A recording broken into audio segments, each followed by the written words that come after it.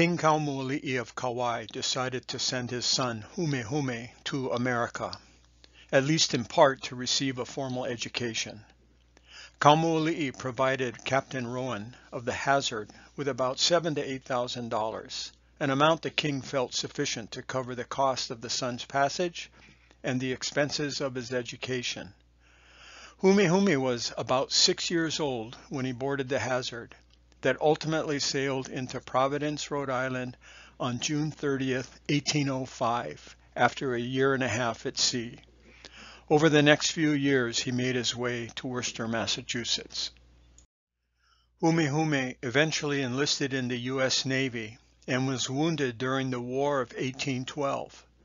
After the war ended, he was again thrown upon the world and without any means of obtaining a livelihood or anyone to care for him, ragged, dirty, and in want, he was again enlisted and employed at the Navy Yard in Charlestown. Humehume was discovered and taken under the wing of the American Board of Commissioners for Foreign Missions, the ABCFM. He was sent, along with Opukahaia and other Hawaiian youths, to be educated at the Foreign Mission School at Cornwall, Connecticut. On October 23, 1819, the Pioneer Company of American Protestant Missionaries set sail on the Thaddeus for Hawaii. Two ordained preachers, Hiram and Sybil Bingham and Asa and Lucy Thurston, two teachers, Samuel and Mercy Whitney and Samuel and Mary Ruggles, a doctor, Thomas and Lucia Holman, a printer, Elijah and Maria Loomis, and a farmer, Daniel, Daniel Chamberlain and his family. With the missionaries were four Hawaiian students from the Foreign Mission School, Hopu, Kanui, Honoli'i, and Humehume. They arrived at Kailua Kona on April 4, 1820. After the Thaddeus headed to Honolulu, Humehume remained in Kailua Kona and took Betty Davis, the half Hawaiian daughter of Isaac Davis, as his wife or his rib, as he described her. In a short time, they rejoined the missionary party in Honolulu. May 2, 1820 journal entries note, Today, brothers Whitney and Ruggles have been called to leave our dear little number at Oahu to accompany Humehume to his native isle and to the bosom of his father. It was to us trying to part from our dear brethren and sisters, and especially from the dear companions of our bosom, not knowing when an op opportunity would offer for us to return as vessels rarely sail from Kauai to the Windward Isles.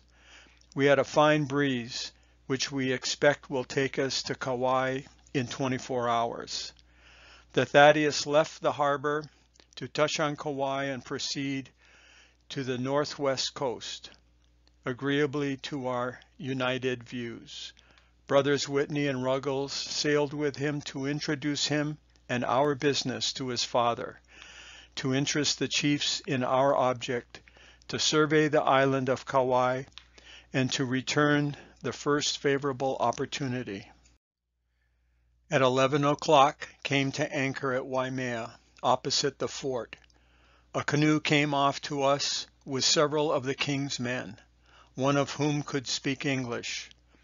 Humehume had kept himself concealed in the cabin until we told him that one of his father's favorite men was on board, and we thought best that his arrival should be made known to him.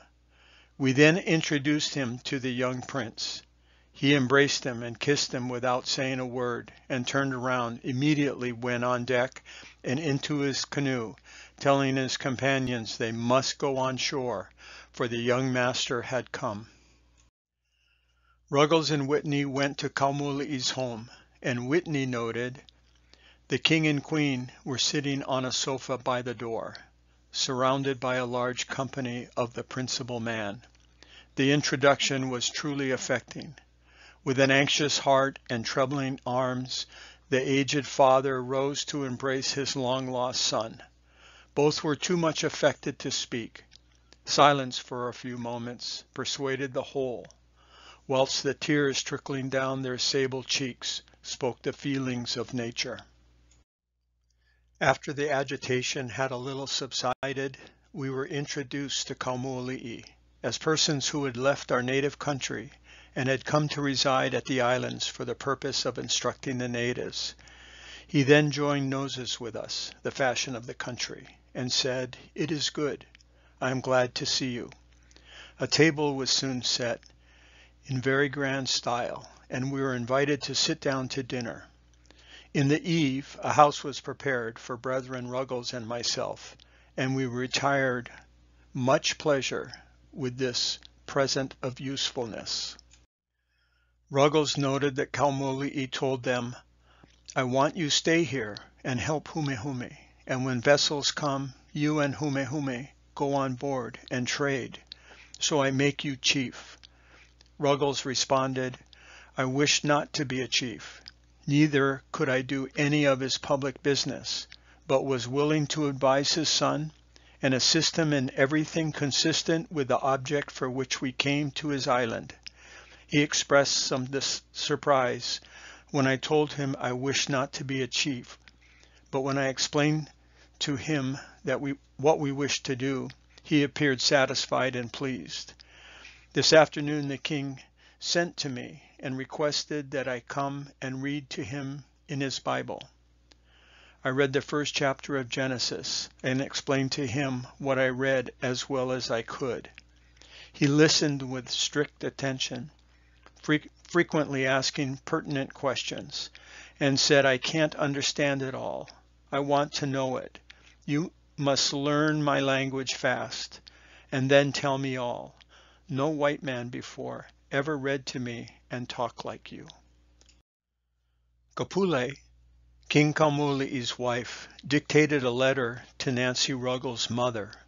She wrote, I am glad your daughter come here. I shall be her mother now, and she be my daughter. I be good to her, give her tapa, give her mat, give her plenty eat. By and by your daughter speak Hawaiian. Then she learn me how to read and write and sew, and talk of that great Akua, which the good people of America love. I begin spell little. Read come very hard, like stone. You very good. Send your daughter great way to teach the Hawaiian. I am very glad I can write you a short letter and tell you that I be good to your daughter. I send you my aloha and tell you I am your friend, Kapule, Queen of Kauai.